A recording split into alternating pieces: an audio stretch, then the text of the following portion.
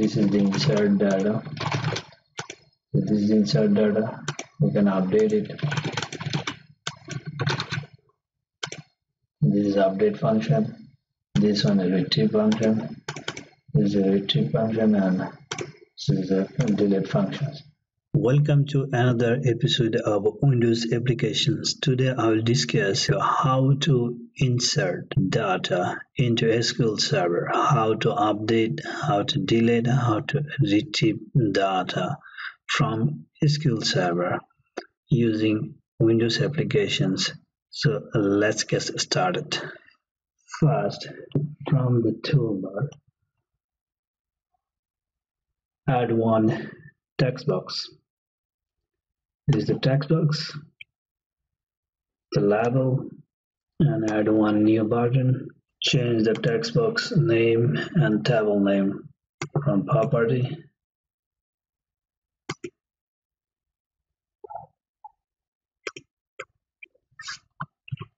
Name and text box name like this txt name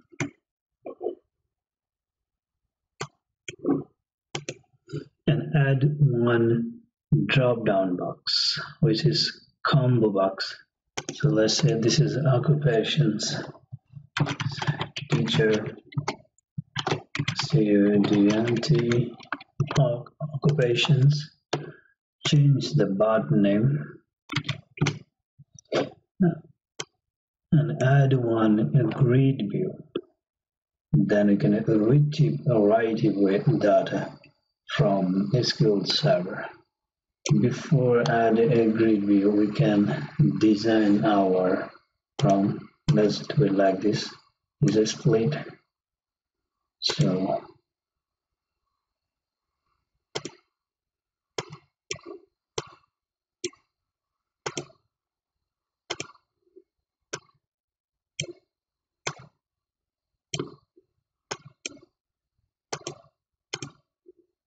so nice looks good.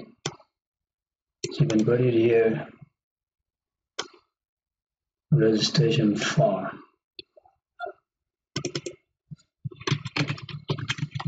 change the font size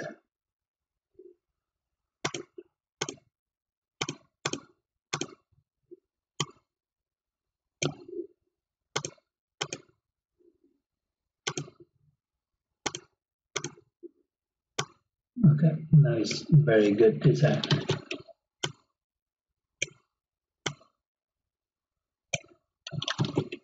so everything ready? Just change the grid view name. So double click into submit button. So here we have to write a program. And in the meantime I'll show you how to create a SQL server. So let's open SQL Server Management Studio this is SQL Server Management Studio. Here I'm using 2008. So I'll get it connected to my server. Let's create here. This is my database test database. So let's create one skill table ID. ID should be bigint.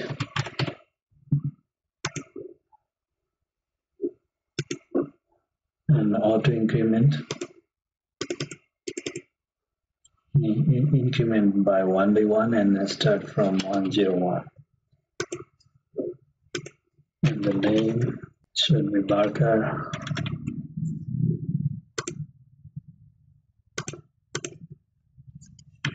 Phone and occupation.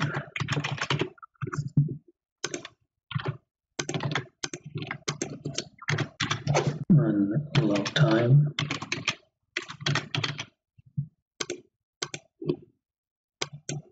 this is the date time the dates. So that's automatically take database time. And add a status integer value and the default value is 1 save it tbl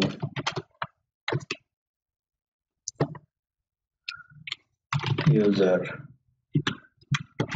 Resi. this is our table name this is my new database table. So database is already we have to connect windows application to sql server. So so first of all you have to open application configuration file. So write one connection string here under configurations something like this this is a connection string name and data source because I'm using here local database. This one my local database that's why it's local. You can use a dot instead of local like this or local or your PC name. And this one my database name here look at that here. This is my database name and uh, this is uh, user ID if you use Windows, Windows uh, authentication so you can follow Windows authentications connection strings. In that case you don't need to supply user id and password and this is a password. Okay so connection string is ready now. Now uh, we have to use this connection strings uh, inside code behind. So there are a lot of way to use connection strings. You can start in the google how to use connection strings. so this is my connection string either i can use connection string inside the code or i can use configuration using configuration manager. Connection strings with configuration manager. Now here i'm using flat connection strings. Okay. Okay now write the code here inside the submit button i'll show you again here this is my submit button double click and write the code here First, I'll show you how to insert data into SQL Server. So this is a simple SQL connections code. So this is the SQL connections. So we're already connected with the SQL Server and SQL command. Here I'm using store procedure. In that case, we have to create one store procedure either you can use SQL procedure or you can use uh, uh, SQL command text. So now first I will show you only SQL procedure and later I'll show you how to use a command text in the real raw SQL query inside the code behind. First of all, we have to create one store procedure. Let's go how to create one store procedure. So this is the store procedure store procedure name. Here we have to insert data into test user table insert name phone occupations that's it. And values so it's created so this one our store procedure name copy the store procedure insert and then here is a parameter one parameter and another one is occupation. So here pause name text box like this and uh, text phone. And last one is we can change it here.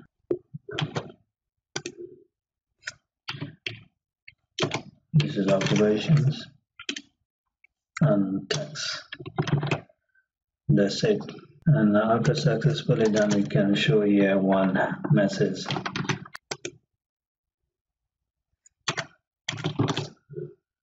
okay let's run the applications.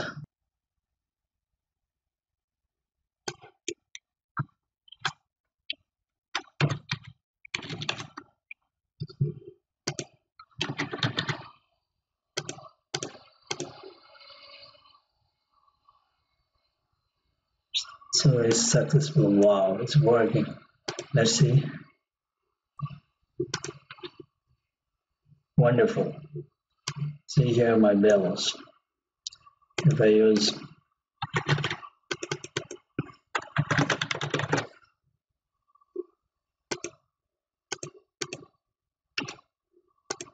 wonderful. So insert data is working so we have to retype data here. Right away I will show you here how to retrieve data inside the data grid view. Okay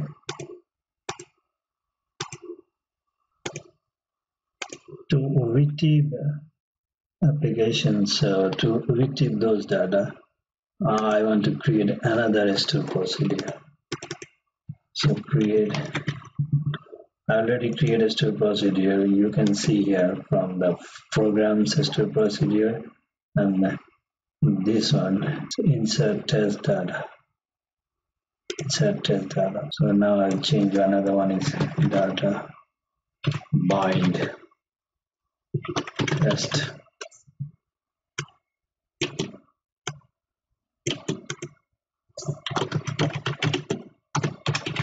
Order by one descent so another step procedure created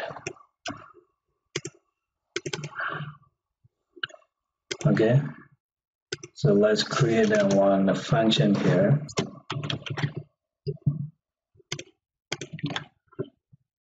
whole store procedure. Copy the new store procedure name. Very easy programming. That's it.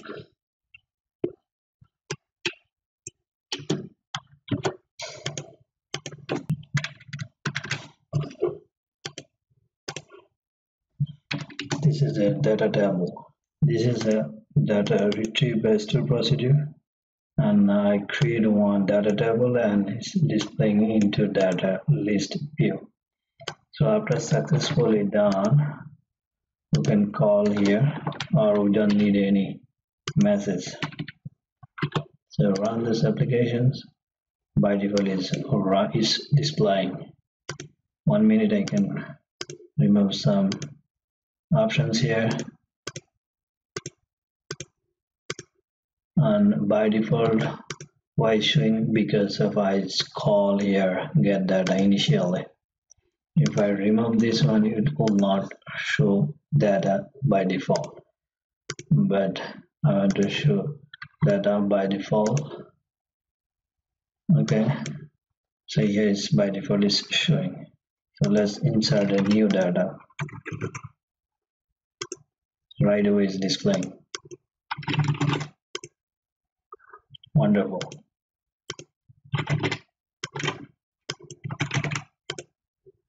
Beautiful.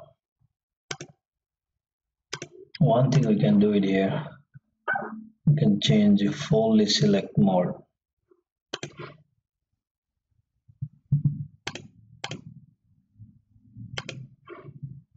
So here is a full row selection.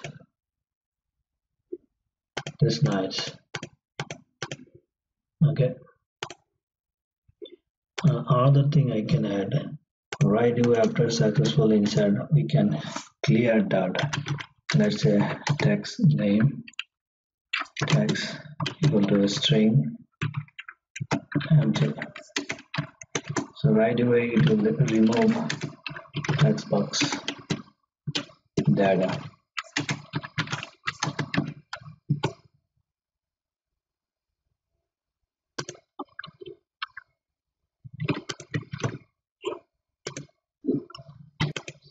okay now I'll show you how to update. For that we have to create another store procedure. So create one new store procedure. Update. I'm just here skipping my video and later on ready. I'll show you. So this is my new update store procedure. So run this execute this one so successfully created. Okay. So let's do it here. I will create another uh, method.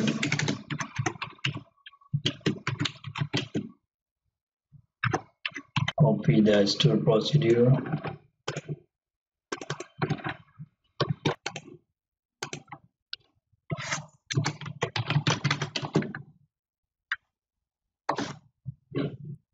so here I just alters a little bit data where id so we have to update only one data in a time. So where update where data id equal to id so here we have to pass also id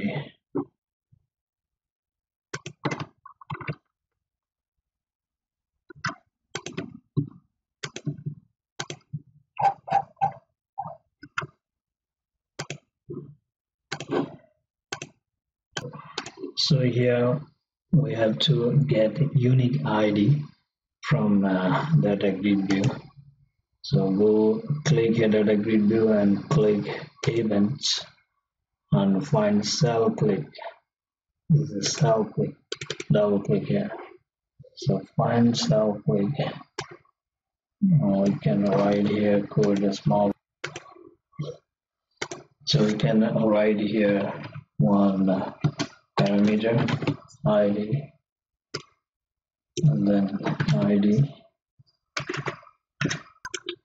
so when click we can write here btn submit text equal to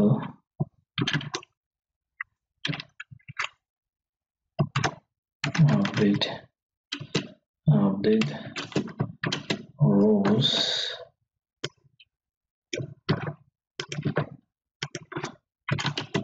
update id how it work start yet? Yeah so id so here i just alter a little bit. I just change a little bit uh, code inside the button. Submit button. If submit button text submit then it will insert. Otherwise it will be update. So call update function here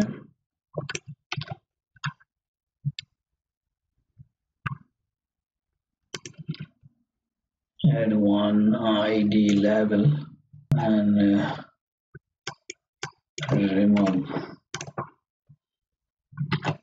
So here right away I can say id tags equal to grid data id so id I have here id number.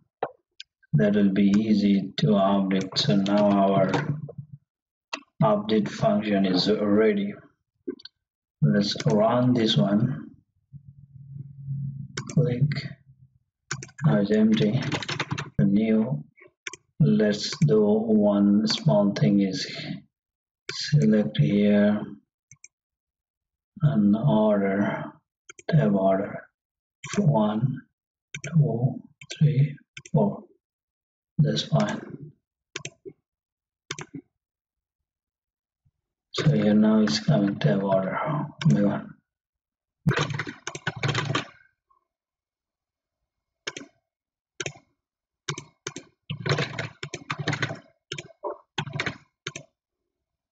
Okay.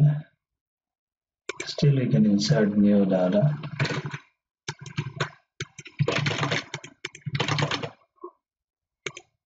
so 107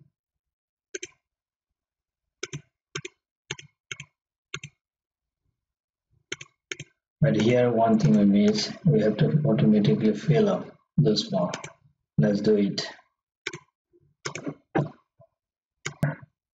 So this is the row number. Number two. And number three right away is fixed. Let's run this application is here. So manager so right away selected. It's fine.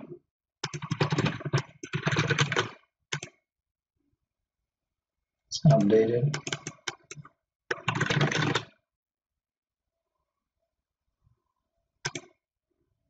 Fantastic so now one thing left we have to do how to delete data very easy.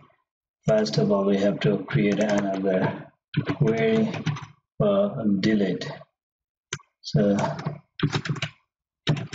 so this is the delete step procedure. Just we have to call one parameter which is id so it's ready now better way you can add one button here delete button or edit button. That will be good. So here under the initial under the page load I just add one delete button. And uh, so click I do a little bit update here. If button click delete button then we'll execute delete.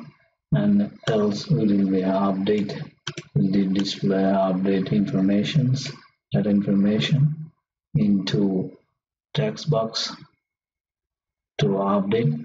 So let's create one update method. Then I have to call it here. Okay this is uh, this is uh, delete uh, call store procedure. This is uh, delete procedure and call under grid view button. Let's see how it's work. So it's, it's working very good actually. And so I can call right away here. Read function this one or this one. Let's see how it work. I call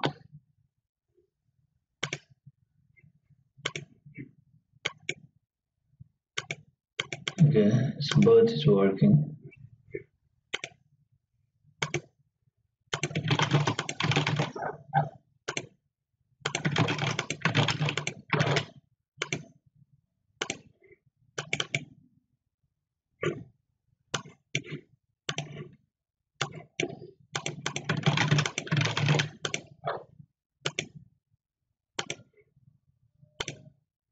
So everything's working fine thank you. Thank you very much. Really, I'll show you again. This is the insert data. So this is insert data. We can update it.